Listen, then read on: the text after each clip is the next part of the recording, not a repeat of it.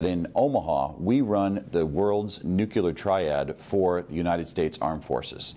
So Offutt Air Force Base is home to STRATCOM, where we have 10,000 airmen and women that are working around the clock, not only in global surveillance, but also in uh, operating our nation's nuclear triad. That's the bombers, the ICBM missiles, and then the nuclear submarines. So we're a strategic headquarters for the United States Armed Forces, and to have one of these Chinese service centers in our backyard in Omaha, Nebraska, tells you how aggressive and uh, omnipresent the Chinese want to be in every community in America. And it's startling. It, it concerns a lot of Nebraskans. It, it should concern everybody in America that they're penetrating that far into the middle of our country.